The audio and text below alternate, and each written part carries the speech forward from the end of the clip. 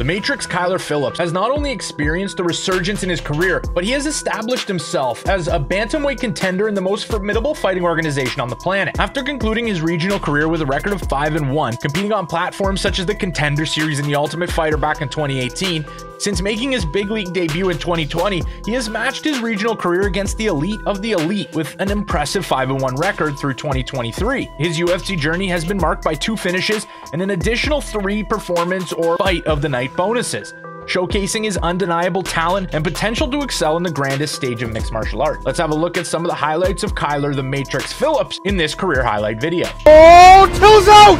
It's over! It's over! It's over! That's what I'm saying, boy! Oh! He got dropped It's over! It's over! Munhoz! Kyler Phillips has been at the MMA lab his entire mixed martial arts career, and he is a staple and an ideal product from that gym. The young 20 year old would take on a brief one year amateur career, filling it with finishes. He'd split the finishes with two via submission and two via knockout.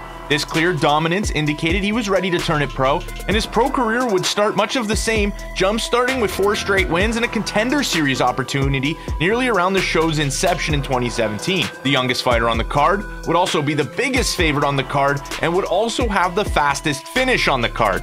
Stopping James Gray in under 50 seconds, Kyler would have an impactful UFC performance and the extremely impressive finish paired with a combined 9 wins and 8 stoppages with no losses, he'd get an offer for the Ultimate Fighter. The catch? It'd be up a weight class in the featherweight division. Phillips would not stray from the challenge and took it head on, and he was picked first by Team Miocic, a clear feather in his cap. However, he'd suffer adversity, failing to win a round on the show, losing his first bout against TUF 27 winner and future UFC fighter Brad Katona, losing via unanimous decision. DC's Brad Katona who is also a bantamweight coming onto the show, would show an impressive game using his outside leg kick a ton and his grappling game to stop Kyler Phillips in his tracks from getting anything creative going. And this would be a tough loss for him in the first round of the Ultimate Fighter. This loss would have him back on the regional track to gain more experience, and he'd lose his second straight in his return fight to CXF via split decision against a fighter with nearly four times the professional experience. In the CXF loss, it was against Victor Henry, who is a product of Josh Josh Barnett's coaching.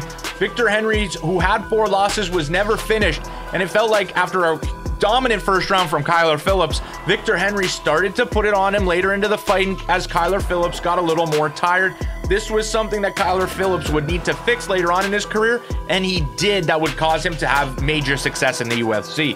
But even with the two losses, this would be his only actual pro defeat because the Ultimate Fighter is judged as exhibition MMA. But it would just take him one more performance in the LFA, a huge head kick knockout, to get him back into the UFC in a massive debut against another fighter with only one loss, Gabriel Silva. And this would be on a UFC on ESPN card, so he would skip over another shot at the contender series. He would get straight on the UFC on ESPN card, and he would have a fight of the night with Gabriel Silva. This would be the main event of the prelims for Figueiredo versus Benavidez, and Kyler Phillips quickly reminded UFC fans of his creativity in the striking and his super exciting stand-up style throwing an absolutely ridiculous 102 significant strikes and landing 50% of them in just the first round. Phillips got a wide 30-27 unanimous decision on the night and solidified himself as a prospect in the division. And it's also notable that Phillips was in control on the ground nearly 2 to 1 against a Brazilian Jiu-Jitsu black belt in Gabriel Silva. After that impressive UFC debut,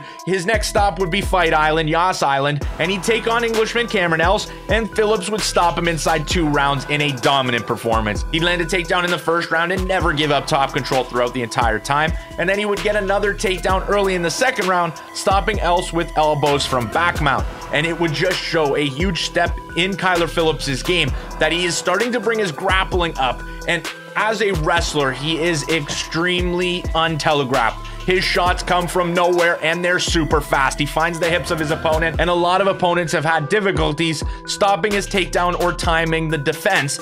And this is just super impressive from the early career Kyler Phillips, who was more a stand up creativity kind of guy who did show a little bit of wrestling to becoming one of the better, near best wrestlers in the bantamweight UFC division. And then in his next fight, probably his most impressive win, looking back, Kyler Phillips defeated Song Yadong as a plus 150 under underdog via unanimous decision. Song Yadong ate massive shots in the first round, a clean head kick, a huge right hand, but that was an extremely impressive performance by Kyler Phillips, who looked more impressive on the feet and was overwhelming with his wrestling, finding takedowns whenever he wanted to. If he was ever put in a precarious position, would shoot a double or a single, and had great success on his takedown attempts. From there, he would actually lose his next UFC fight, but no stranger to adversity. He would bounce straight back from that fight of the night loss, another fight of the night, another feather in the cap of Kyler Phillips as an exciting, super watchable fighter. And he would take on and defeat Marcelo Rojo with a submission in the third round.